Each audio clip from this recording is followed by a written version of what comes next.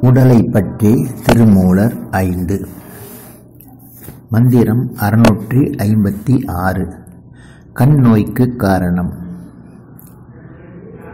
கண்ணில்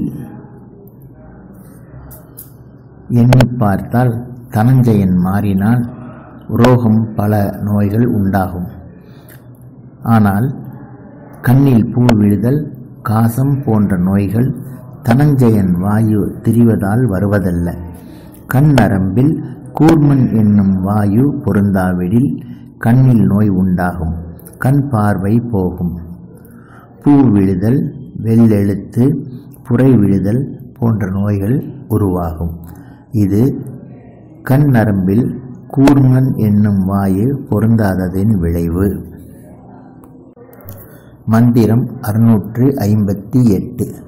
ஒன்பது வாசல் உடையது இவ்வுடம்பு.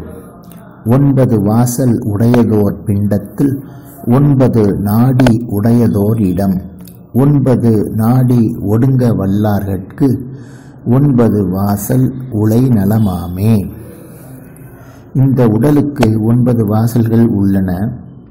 இந்த உடலின் ஒன்பது நாடிகளிலும் ஒன்பது வாயுக்கள் ஓடுகின்றன. அந்த இடம் சுழுமுனை. இந்த இடத்தின் ஒன்பது நாடியும் வாயுவும் அடங்கி ஒடுக்கும் தவயோக பயிற்சி உடையவர்களுக்கு ஒன்பது வாசலை கொண்ட உடலாகிய உலைக்களம் நன்மையை தருவதாகும்.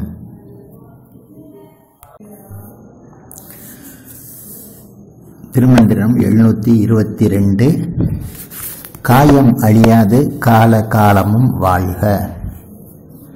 ஈராறு கால் கொண்டு எழுந்த புறவியை பேராமல் கட்டிப் பெரிதுண்ண வள்ளீரேல் நீர் ஆயிரமும் நிலம் ஆயிரத்து ஆண்டும் பேராது காயம் பிரான் நந்தி ஆணையே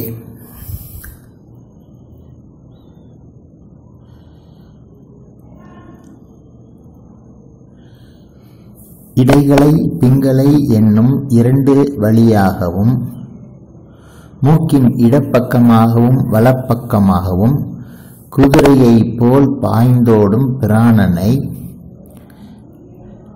உச்சித்தலையில் நிறுத்தி அடையும் யோக சமாதியில் சித்தத்துள்ளே பொங்கிப் பாயும் அமுதத்தை அள்ளி உண்ணக் கூடுமானால் நீங்கள் நீர் ஆயிரமும் நிலம் ஆயிரம் ஆண்டும் யோக நிட்டையில் இருக்கலாகும். உங்கள் உடம்பு அழியாது. இது நந்தியம் பெருமான் கட்டளை ஆகும். திருமந்திரம் எழுநூற்றி இருபத்தி நாலு சரீர சித்தி உபாயம்.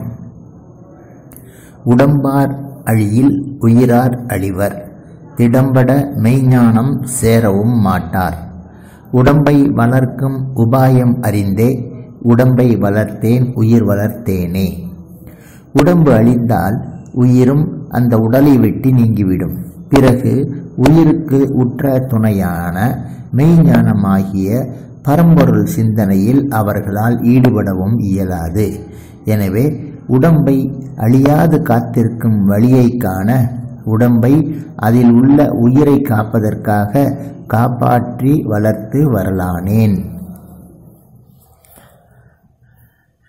திருமந்திரம் எழுநூற்று இருபத்தி ஐந்து. உடம்புக்குள் இறைவன் இருப்பதை அறிவீர். உடம்பினை முன்னம் இழுக்கு என்று இருந்தேன். உடம்பினுக்குள்ளே உருபொருள் கண்டேன். உடம்புலே உத்தமன் கோயில் கொண்டான் என்று உடம்பினை யான் இருந்து ஓம்புகின்றேனே. இந்த உடம்பை முன்பெல்லாம் குறைவுடைய பாவை சுமை என்று நினைத்து கொண்டிருந்தேன். உடம்புக்கு அப்படி நினைத்து கொண்டிருந்த நான் இந்த உடம்புக்குள்ளே இருக்கின்ற சிறந்த செல்வத்தை கண்டேன்.